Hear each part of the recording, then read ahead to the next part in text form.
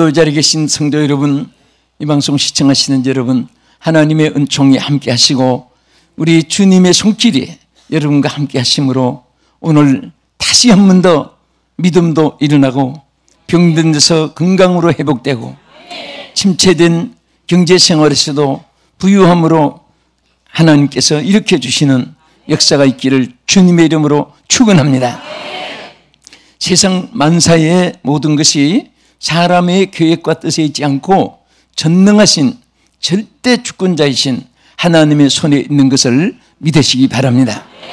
그래서 우리는 오늘도 주님의 이름으로 본문에 일어난 안전뱅이 사건처럼 우리는 모든 것에 주님의 이름이 함께 하실 때는 능히 일어나고 승리할 수 있을 줄로 믿으시기 바랍니다. 우리 성경에 보면 일어나라고 하신 말씀이 많이 있습니다. 이 안전뱅이를 통해서도 일어나 걸어라. 일어나 걸어라. 따라합시다. 일어나. 걸어라. 네. 일어나라는 것은 땅에 붙어 있는 데서 또 일어나라는 것은 걸으라는 것은 활동을 하는 것입니다. 우리는 일어나서 모든 것에 기동력을 발휘하는 그런 하나님의 능력을 함께 힘입기를 축원합니다. 또 우리가 사도행전 3장 6절에 보면은 자, 이 나사렛 예수의 이름으로 반드시 우리가 일어날 때는 삼촌 조카 형님 아저씨 동양 또 동, 지인들 동양 사람 또 종친들 여러분들이 가까운 친구들이 그 이름으로 일으키는 것이 아니고 반드시 나사렛 예수의 이름으로 일어나라. 항상 우리는 예수님의 권세, 예수님의 능력, 예수님의 구원, 예수님의 축복, 항상 주의 이름으로 안 되는 것도 되게 되고 없는 것도 있게 될 줄로 믿으시기 바랍니다. 또 때로는 요한복음 11장 43절에 보면은 죽은 나사로를 통해서 뭐라고 했습니까? 나사로야 나오라. 그 죽은 데서 일어나서 살아나고 또 거기서 벗어날 것을 명령을 했습니다. 또 마가복음 14장 42절에 보면은 예수님이 제자들에게 뭐라고 했습니까? 일어나라. 일어나 함께 가자. 불아 나를 파는 자가 가까이 왔느니라. 이 말씀은 예수님이 지금 사탄과 싸워야 되는데 너희들도 이 침태 또 주저 낙심 속에 절망 속에 있지 말고 나와 함께 이 어둠의 권세와 싸우러 가자. 여러분들은 영적 전사들입니다. 십자가 군병입니다. 할렐루야. 얼마나 많은 어둠의 권세들이 기독교에 도전해 오는지 모릅니다. 세상 세속화가 도전해 옵니다. 무서운 것은 알지 못하는 가운데 침투 오는 것 중에 하나가 세속화의 물결입니다. 교회는 성별된 곳입니다. 성도는 성별된 자들입니다. 우리는 절대 이방인들과 같이 생각하고 행동하고 함께 휩쓸리고 그들의 길을 가는 것이 아니라 우리가 그들을 이끌고 주의 길을 가게 해야 되고 멸망에서 구원의 길로 가게 해야 되고 지옥에서 천국으로 이끌어내야 될 줄로 믿으시기 바랍니다. 절대로 우리는 그들 속에 휩쓸리면 안 되는 것입니다. 이단의 위험도 있습니다. 또 정치, 권세 이런 위험도 있습니다. 그러나 예수님은 일어나 함께 가자. 나를 파는 자가 가까이 왔느니라. 영적 전쟁을 위해서 우리는 예수님과 함께 주의 길을 가야 될 줄로 믿으시기 바랍니다. 또 때로는 창세기 13장 17절에 보면은 하나님이 아브라함에게 일어나라고 했습니다. 왜 일어나라고 했느냐? 너는 일어나 그 땅을 종과 행으로 행하여 보라. 내가 그것을 두루 다녀보라. 내가 그것을 다 내게 주리라. 내 밟는 땅을 다 내게 주리라. 네. 여러분, 이 말씀은 하나님이 가난과 궁핍과 절망과 소외됨과 비애 가운데 절대 하나님의 사람들은 거기에 늪에 빠져 있지 않게 하십니다. 정글에 빠져 있지 않게 하십니다.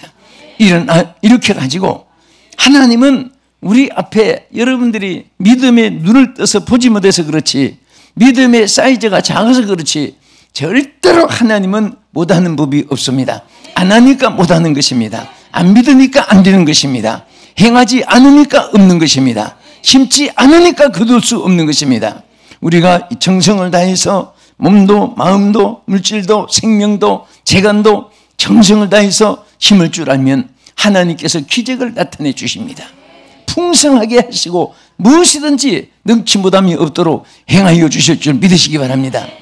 여러분들이 시야를 짧게 보니까 안방에서만 뒹굴고 옆방 뒷방에서만 앞마당 뒷방에서 혹은 자기 그 고향 산천에서만 머물면 거기에서 일생을 보내게 되는 것입니다. 그러나 눈을 크게 뜨고 동서남북을 바라보라고 했습니다. 그리고 그것을 발견하고 했습니다. 보이는 땅을 내게 주겠다고 했습니다. 밟는 땅을 내게 주겠다고 했습니다. 언제나 우리는 마음을 눈을 하나님께 표준을 맞춰야 됩니다.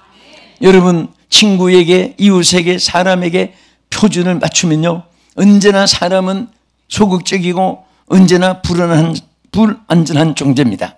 하나님께 초점을 맞출 때 하나님께서 능치 못함이 없습니다. 하나님의 예비하신 것은 청량할 수 없는 줄 믿으시기 바랍니다. 언젠가 말했듯이 어떤 정신적으로 잘못된 인색한 환자가 숨을 아끼다가 죽었단 말을 우리가 기억하지요. 이 우주 공간의 공기가 왜 이렇게 많은데 왜 숨을 아낍니까? 여러분 하나님의 예비하신 세계는 언제든지 풍성한 세계입니다. 언제나 넘치는 세계입니다. 바다 물결같이 넘치고 우주 공간의 공기처럼 넘치고 온 세계를 비치는 태양빛처럼 위력이 있는 줄로 믿으시기 바랍니다. 믿음이 약해지면 소극적인 사람이 됩니다. 또 소극적인 사람이 되면은 모든 의욕을 상실해 버립니다. 의욕을 상실해 버리면은 아무 열매가 없게 되는 것입니다. 열매가 없으면은 무용지물이 되고 쓰레기처럼 나중에 인생이 끝나는 것입니다. 오늘 여러분 살아서 움직여야 됩니다. 전진해야 되는 것입니다. 뛰어 달려가야 되는 것입니다. 최고의 정상을 향해서 성부를 걸어야 되는 것입니다. 아멘. 그럴 때 하나님의 역사가 함께하는 것입니다. 저는 원시인들이 여러분 하와이 같은 데 가면 민속촌이 있잖아요. 거기에 원시인들이 어떻게 사느냐. 거기에 다 각 나라 각 주의 원시인들이 사는 민속들이 있습니다. 그제 그 신기한 것은 불이 없는데 그 나무를 막 문질러 가지고 그 불을 피우는 것을 보게 되는 것입니다. 저는 그것을 볼 때마다 아, 그게 스파크가 일어나는 거예요. 예? 우리는 열심을 다할 때는 스파크가 일어납니다. 열심을 다할 때 하나님께서 그 정열 속에 새로운 능력이 나타나게 하는 줄 믿으시기 바랍니다. 무엇을 하든지 최선을 다해 보세요. 어떤 분은 여러분에게도 질문을 할 겁니다. 저도 질문을 많이 받습니다. 목사님 생애 철학이 뭡니까? 저는 철학이라는 것이 뭐 아무것도 없죠. 우리가 하나님 말씀대로 살되 다만 무, 무엇이 자랑할 것이나 또 어떤 땀보다 뛰어나는 것이나 우리 인생은 있을 수가 없습니다. 다 거기가 거기고 고기가 고기입니다. 따라합시다. 거기가 거기고 고기가 고기다. 예, 먹는 고기 말고 네? 고기 고기인데 뭐냐? 최선을 다할 뿐이다. 누구 무엇을 어, 왜 그렇게 삶의 철학, 신앙의 철학 그런 것을 왜 많이 그렇게 묻는지 몰라요. 그럴 때마다 저는 대답이 딱 한 가지. 큰 일이고 작은 일이고 최선을 다하고 나머지는 실패했던 성공했던 성실 성공해도 자랑할 것도 없고 실패했어도 낙심할 것 없고 그저 최선을 다한 그것으로 만족하면서 살아간다. 이렇게 저도 대답하고 여러분도 그렇게 대답할 것입니다. 하나님께서는 무엇이든지 최선을 다할 때 하나님께서 거기에 역사를 나타내 주시고 하나님의 능력이 플러스 되기 때문에 무엇이든지 능치 못함이 없도록 하나님이 역사할 줄로 믿으시기 바랍니다. 그래서 하나님은 발, 이 밟는 땅을 눈에 보이는 땅을 다 내게 준다고 했습니다. 아브라함이 여러분들 얼마나 절망과 좌절 속에 있었습니까? 조카라고 하나 길러가지고 출세시켜 놨더니 그가 부자가 되니까 아브라함의 목동이하고 조카 롯의 목동이하고 자꾸 분쟁이 일어나고 싸움이 일어나는 것입니다. 이 아브라함은 여러분 평화주의인데 평화주의자는 손해 보는 것 같아도 하나님이 승리를 주시는 것입니다.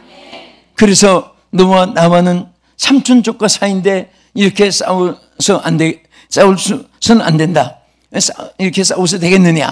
내가 차라리 우하면 나는 좋아하고 내가 좋아하면 나는 우하리라.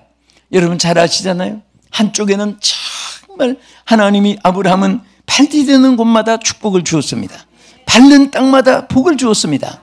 그래서 그 땅이 비옥하고 얼마나 하나님의 축복이 넘쳤습니까?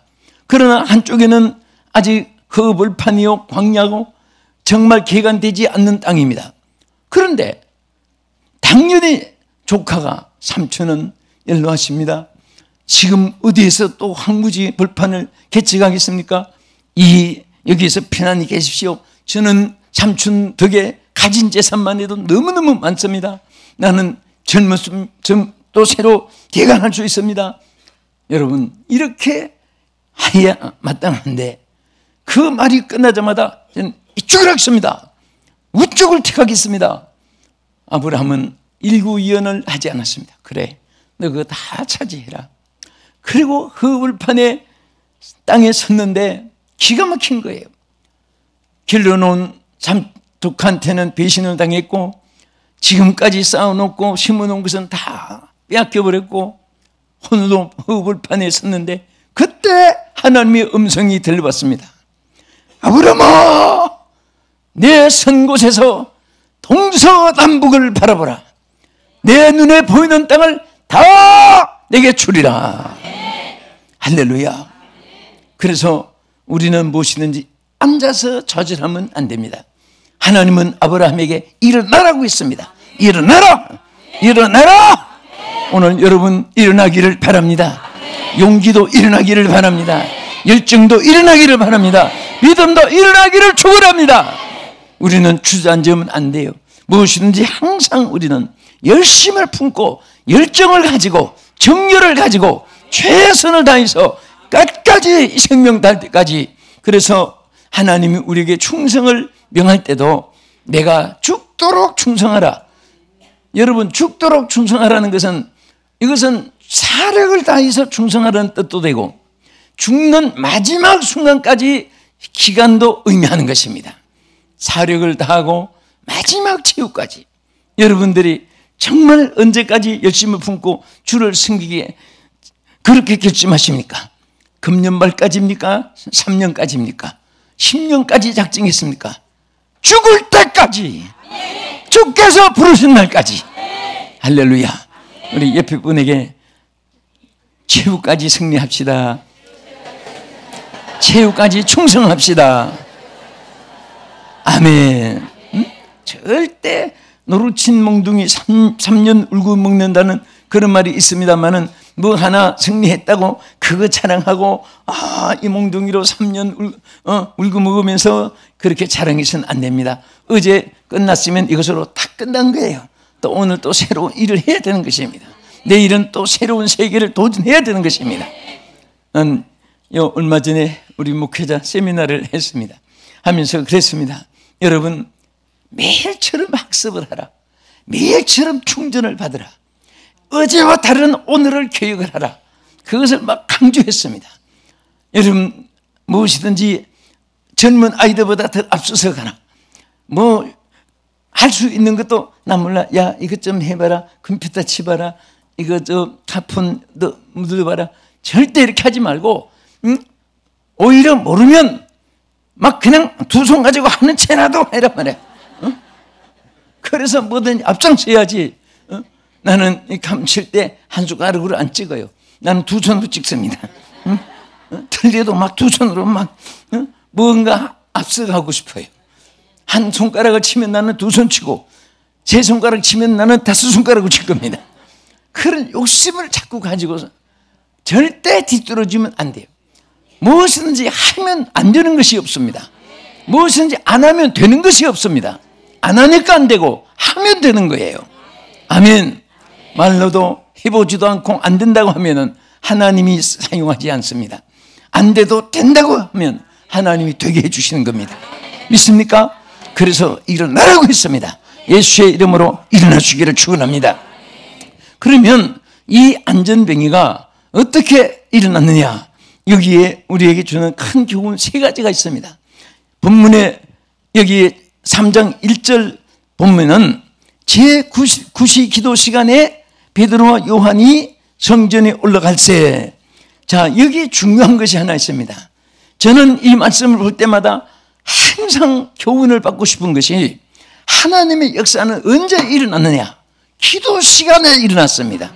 기도 시간에 일어난 거예요. 여러분, 마가다라 방에 성령이 언제 임했습니까? 기도 시간에 일어났습니다. 여러분, 빌립보 옥토에 지진이 언제 일어났습니까? 바울과 신라가 기도할 때 일어났습니다. 할렐루야. 모세가 신의 산에서 기도할 때 신의 산이 지진이 일어나고 큰 옹기점 연기 같은 그런 불꽃이 하나님 보좌에서 임하고 음성이 임하게 되었습니다. 뭐 할 때? 기도할 때. 여러분 기도할 때는요 하나님을 만나는 시간입니다. 기도하는 시간은요 하나님께 응답을 받는 시간입니다. 믿습니까? 기도 대신에 마귀가 주는 것은 낙심입니다. 절망과 좌절된 마음입니다. 하나님의 사람들이 어려움이 있을 때 그때일수록 주여 빨리 주님을 찾지 않고 여러분 물주머니 얹고 두루눈다든지 급비단이나 마시면서 한숨만 푹푹 쉬고 있다든지 아니면 한강 고수부지라도 찾아가서 거기 고민자리 찾아간다든지 여러분 그 앉아서 고민하는 사람들이 예수를 안 믿는 사람 같으면은 당연합니다. 왜? 맡길 곳이 없고 의지할 곳이 없고 소망할 곳이 없으니까 혼자 고민하고 혼자 해결을 못하니까 몸부림치는 것이지. 여러분과 나는 주님이 뭐라고 했습니까? 내 짐을 내게 맡기라. 내 행사를 내게 맡기라. 내 길을 내게 맡기라. 내 염려를 내게 맡기라. 응? 맡기라고 했습니다. 그럴 때마다 빨리빨리 맡길수록 좋고 전체를 맡길수록 좋고 온전히 맡길수록 좋은 거예요. 맡길 곳이 있는데 왜 거기서 혼자 앉고 고민해서 되겠습니까? 여러분 다 맡기시기를 축원합니다. 주님께 다 아뢰시기를 축원합니다. 낱낱이 아뢰면서 이루어질 때까지 부르짖으면서 그럴 때 하나님은 일어나 걷게 할 줄 믿으시기 바랍니다. 회복시켜 주실 줄 믿으시기 바랍니다. 여러분 사도행전 2장 1절에 보면은요 기도할 때 성경에 불을 주셨습니다. 예레미야 29장 13절에 보면요. 기도할 때 하나님이 만나 주셨습니다. 여러분, 저 마가복음 9장 29절에는요. 능력을 받게 했습니다. 그리고 이사야 58장 8절에는요. 기도할 때 치료를 받게 했습니다. 병을 낫게 되든 또 문제가 해결되든 또 길이 열리든 전부가 하나님은 기도라는 채널을 통해서 이루어 주셨지 고민이라는 채널을 통해서 이루어지지 않게 했습니다. 사람 만나서 해결받는 채널을 주시지 않았습니다. 인간의 수단과 방법을 통해서 그때는 빨리 출시하고 그때는 빨리 이렇게 두각을 나타내는 것 같아도요. 여러분 무엇이든지 정상 코스가 있습니다. 응? 여러분 어떤 분은 북근 1등 돼가지고 보니까 그 미국에서도 그런 일 있고 유럽에서도 너무 돈이 커가지고 쇼크 받아서 죽은 사람도 들어봤어요. 응? 너무 막 큰 돈이니까 호흡을 잘못해가지고 심장병을 해가지고 어? 충격받았어. 여러분 예를 들어서 천억이 여러분 앞에 복권됐다고 해도 따라합시다. 주여 끝까지 거. 그렇게 분토처럼 바울같이 취급하면 예? 그것이 오히려 여러분 유, 유용한 재물이 물건 저 화폐가 되고 또 금전으로 사용할지 몰라도 그것이 무상처럼 되면은 오히려 그것이 우리에게 큰 손해를 끼치고 그것 때문에 우리 인간이 노예가 되는 거예요. 절대 로 보세요. 우리는 하나님의 종 돼야지 물질의 종 돼서 안 되고 명예의 종 돼도 안 되고 권세의 종이 돼도 안 됩니다. 응? 저는 어제 광명시에서 집회를 하는데 그 전도사 한 분이 어 저한테 물어봐요. 목사님 도움되는 말 꼭 한 말씀만 해주세요. 자기도 앞으로 이제 목회할 건데 한영신학대학교 학생이라고 해요. 그래서 내가 천공하고 싶으냐? 세 가지를 버리라. 첫째는 물욕을 버려야 된다. 둘째는 명예욕을 버려야 된다. 셋째는 결혼했으면 한 아내로 만족하고 이성의 욕심을 버려야 된다. 세 가지만 버리면 너는 성공할 수 있다. 그래서 어 참 어 뭐 자기가 결심하는 얘기를 해요. 근데 정말 많은 사람들이 왜 실패하느냐? 물욕 때문에 실패합니다. 나는 요즘에 정말 그 힘들어서 북관이 되고 힘들어서 명예를 얻고 권세를 얻은 분이 그 불의한 재물 때문에 몇억 몇 천억 몇 억, 수억이 무슨 소용이 있습니까? 먹고 사는 거, 삼키 먹고 사는 것이고 어디 가서 침대 한 칸 잠자면 되는 것이고 그때 그때 필요한 대로 성경할 수 있도록 하나님 축복 누리면 되는 것이지. 그거 많아서 땅에 묻어놓고 금고에 묻어놓고 막 그냥 이렇게 저렇게 신문지 싸서 구석에 처박아 놓고 그 무슨 재미로 삽니까? 예? 우리는 하나님 한 분만으로 만족하면 예수 안에 삶이 보장되는 것입니다. 예수 안에 모든 것을 하나님께서 예비해 놓은 것을 누리게 될 줄로 믿으시기 바랍니다.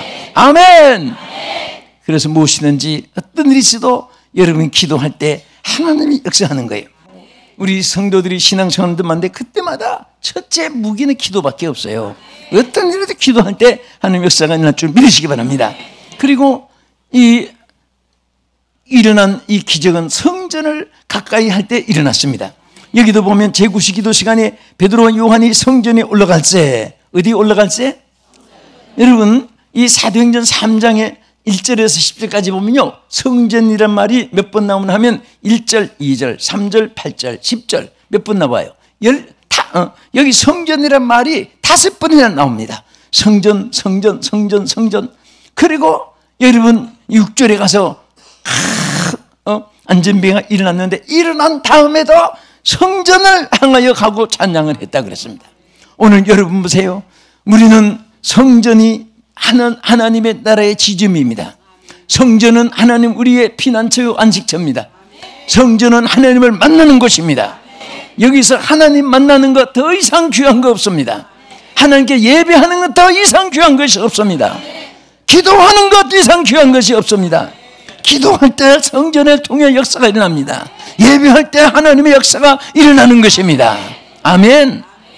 그래서 항상 우리는 자녀께나 성전을 위하고 성전에 관심을 두고 성전에 마음을 두고 몸도 마음도 내 생명도 성전에 심고 할 때에 하나님 역사가 늘 함께 할 줄로 믿으시기 바랍니다. 그래서 하나님은 시편 122편 6절에 보면 예루살렘을 위하여 평안을 구하라. 예루살렘을 사랑하는 자는 형통하리라. 예루살렘은 성전을 향한 것입니다. 하나님의 집을 위하고 힘쓰고 평안을 구한 자에게 하나님 축복이 함께하는 것입니다. 끝으로 이 안전비가 일어난 것은 합력 함께 협력하는 데서 일어난 거예요. 여러분 성경 구절은요 한 절을 자세히 보면요 엄청난 꼭한 이 헬라인은 점 하나 가지고 뜻이 어, 좌우로 달라지는 것입니다. 우리 한글도 성경을 자세히 보면요 한 절 한 절이 얼마나 큰 교훈인지 모릅니다. 자, 여기 한번 물어보겠습니다. 이 안전뱅이를 메고 왔는데 누가 메고 왔습니까? 누가 메고 왔어요? 사람이 메고 왔습니까? 사람들이 메고 왔습니까? 바로 그거예요. 사람이 메고 왔다. 의미가 없습니다. 여기 보면 복수입니다. 사람들이 메고 왔다. 여러분, 교회는요, 절대로 혼자 교회를 붕시키는 법이 없습니다. 우리는 다 교회의 지체들이에요. 어떤 분은 팔 역할, 다리 역할, 어떤 분은 입 역할, 눈 역할, 귀 역할 다 함께 협력을 할 때에 하나님의 교회가 부흥되는 것이고 하나님의 나라가 확장되는 것입니다. 하나님의 역사가 함께 할 줄 믿으시기 바랍니다. 우리는 한 지체라고 했습니다. 여러분 몸에 발도 귀하고 손도 귀하고 입, 코, 눈도 귀하고 내장도 귀하고 다음에 피부도 귀하고 하나도 귀하지 않는 것이 없습니다. 여러분 정말 우리는 다 존귀한 자입니다. 우리 옆에 분에게 당신은 존귀한 분입니다. 당신은 존귀한 분입니다. 또 한 번 더 당신은 우리 교회에 없어서 안 되실 분입니다. 당신은 우리에게 없어서 안될 뿐입니다. 어? 얼마나 귀한지 몰라요. 그래서 우리 몸의 지체가 함께 움직일 때 나라고 하는 여러분 개체 존재가 인격적으로 나타나게 되고 형성이 되는 것입니다. 아멘. 그래서 여러분 저는 항상 20대 후반부터 매일 주간마다 이 교회 주교회 이 나라 저 나라 어 다니다가 보면 그러니까 항상 제가 보고 느끼는 것이 어느 교회든지 부흥되는 교회는 합력하고 협, 협력하는데 함께 공동체가 이루어져서 이루어지는 것입니다. 응? 홀로 되는 것이 아니에요. 나라도 독재가 되면 나라가 망하는 것입니다. 다 함께 모든 자원을 활용해야 되는 것입니다. 그럴 때 하나님의 역사가 함께하는 것입니다. 구역이 부흥되고 기관이 부흥되고 위원회가 부흥되고 교우가 부흥되고 다 함께 부흥되면 전체가 부흥되고 한국 교회가 부흥되고 세계 교회가 부흥되는 줄 믿으시기 바랍니다. 그래서 사람들이 메고 와서 합력하여 협동 공동체를 이룰 때 안전비가 일어났습니다. 저는 이 말씀을 마칩니다. 일어나 걸어 어떻게 일어났습니까? 제 기도할 때 역사가 일어났습니다. 성전을 가까이 할 때 역사가 일어났습니다. 서로 협력할 때 역사가 일어났습니다. 모두가 일어나 그럴 수 있기를 축원합니다.